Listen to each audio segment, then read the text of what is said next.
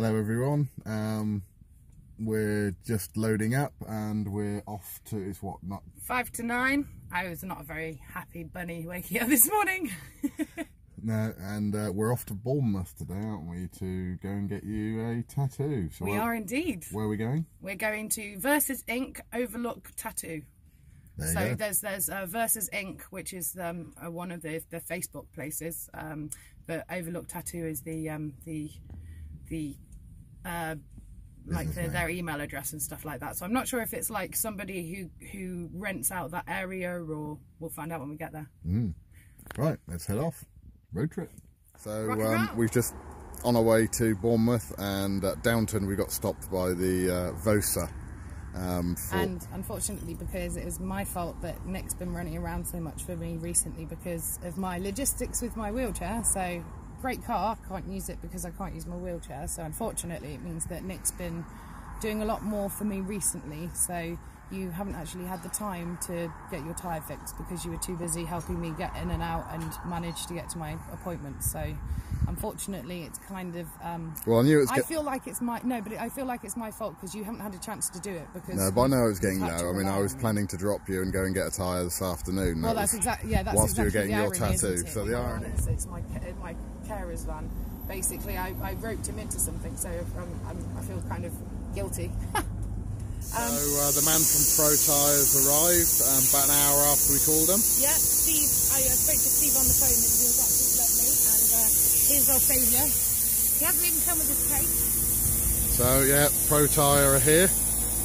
They're pretty quick to pretty quick to respond, and he's turned up, and we're uh, we're getting our tyres done. We've arrived after our uh, little mission with the tyres, and a little bit stressy finding car parks, but we're we're here Yeah, now. They don't really have very much signposting for car parks, which is rather frustrating. But Yeah. never mind.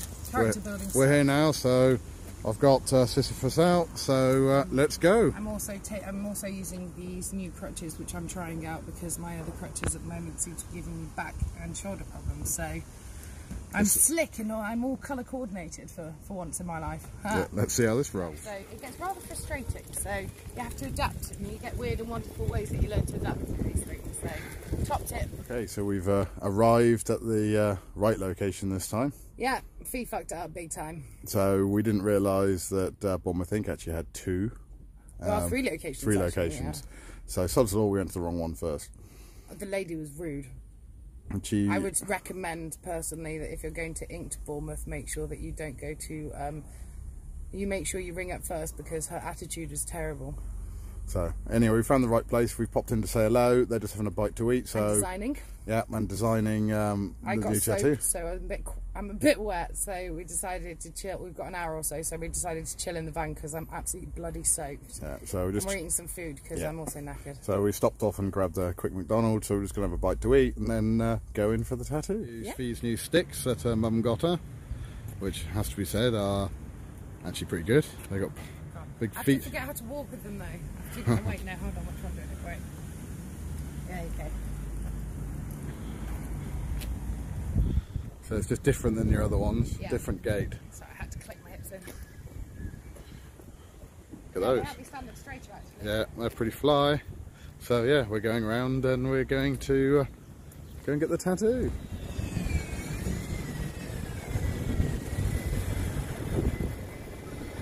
having long legs are better useful. Ah, hello. Sorry, I didn't realise you were filming.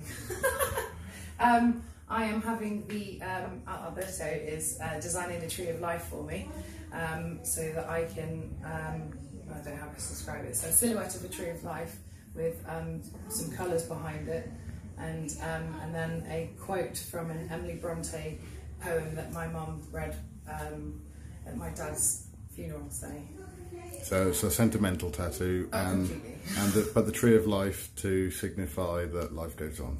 Sig- well, signify how the past, the present, and the future all kind of intermingle to each other. Cool. So whilst we're uh, whilst we're waiting, it's being lovingly drawn up on the uh, on the iPad by the resident also shaming my technology kind Yeah. of knowledge to the point where I'm just Uh, like, "Shh, I'm going to stand over here. artistic talent along with use of technology. So uh, design's all done and uh, the the writing has been designed and then the uh, tree is going to be free-handed. So it's all being set up now. So that's that's what you're having. That's pre yeah that's pre-pain.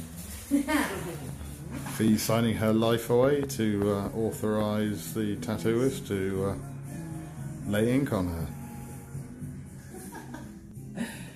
I think this is a pretty cool